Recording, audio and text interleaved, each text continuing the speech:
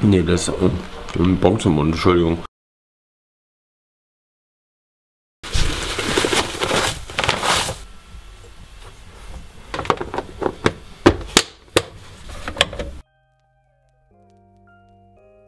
Wenn man gleich mit zwei Vlogs im Rückstand ist. Eieieiei. Ich bin mit dem Vlog vom vorgestern noch im Rückstand, obwohl es jetzt fertig ist, das muss ich jetzt nur exportieren. Aber das musste ich gerne auf den Laptop schneiden und den Vlog von gestern äh, konnte ich schon auf dem Rechner schneiden hier. Aber das muss keiner schneiden.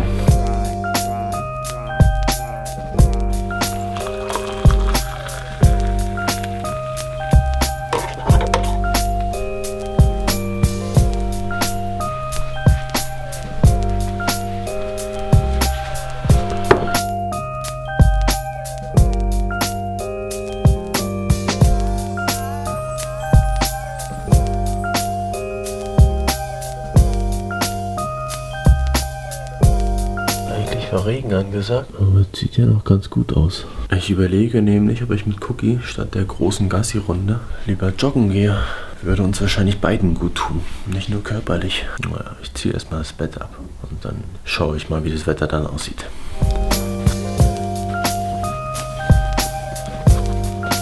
Bett gerade abgezogen. Aber das schreckt mich dann noch nicht ab. Dann gehen wir trotzdem, wenn es nicht schlimmer wird. Aber jetzt muss ich das Bett erst noch beziehen. Mal sehen, wie es dann aussieht.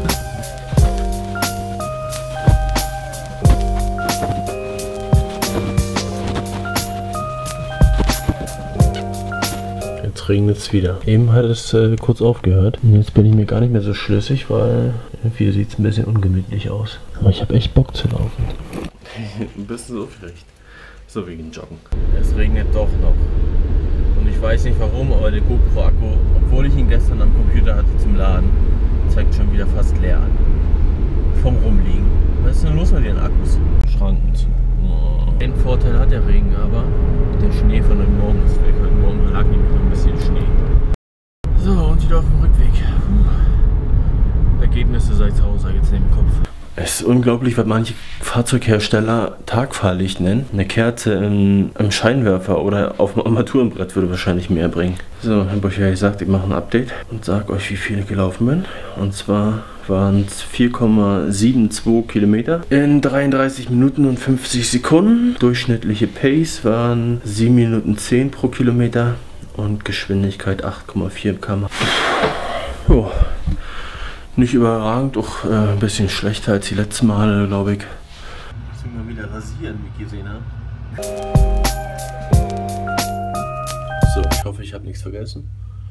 Jetzt muss ich zur Arbeit.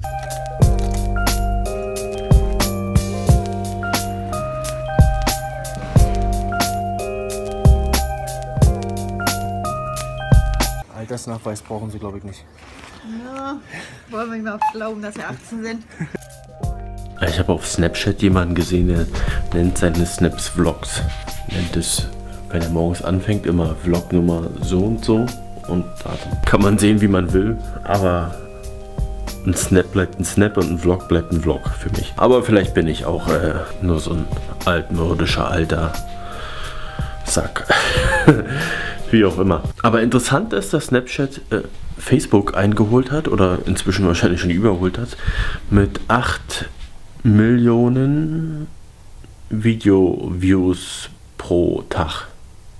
Ich hoffe, ich habe das jetzt richtig gesagt. Habe jetzt nicht nachgeschaut, habe das nur heute Morgen irgendwo gelesen. Schon interessant, schon krass. Und in Deutschland benutzen mehr Leute Snapchat als Twitter.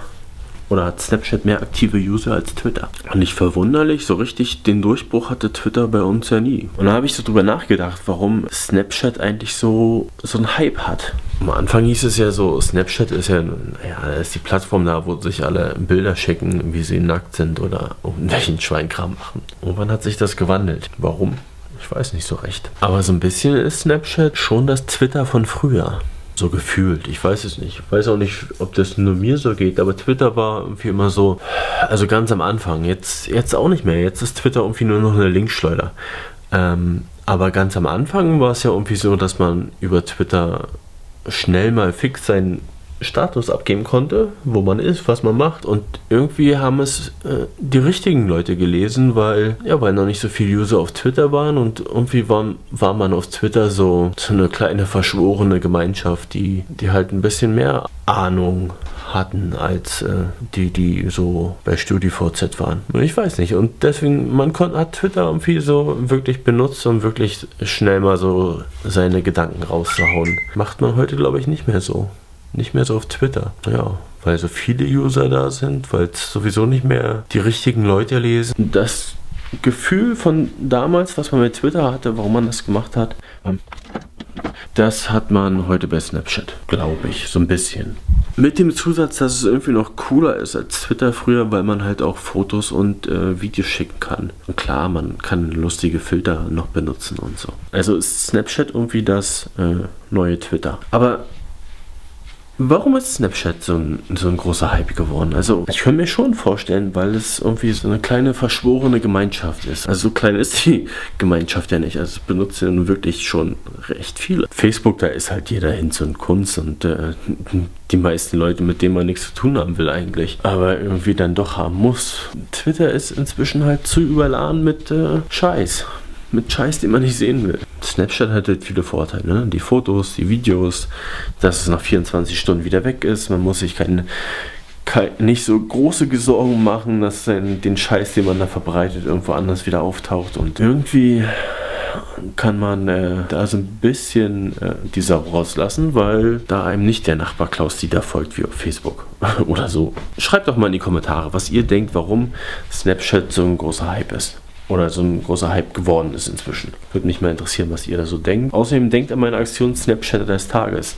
Schickt mir eure Snap-Bilder, schickt mir eure Snap-Videos, euren Snap-Code oder den Snap-Code von jemandem, den ich äh, featuren soll, den ihr gerne folgt. Das war's für heute. Das war's wirklich für heute. Also dann, vielen Dank für eure Aufmerksamkeit und äh, bis morgen.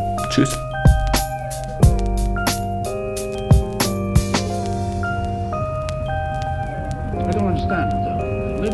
Tonal organization.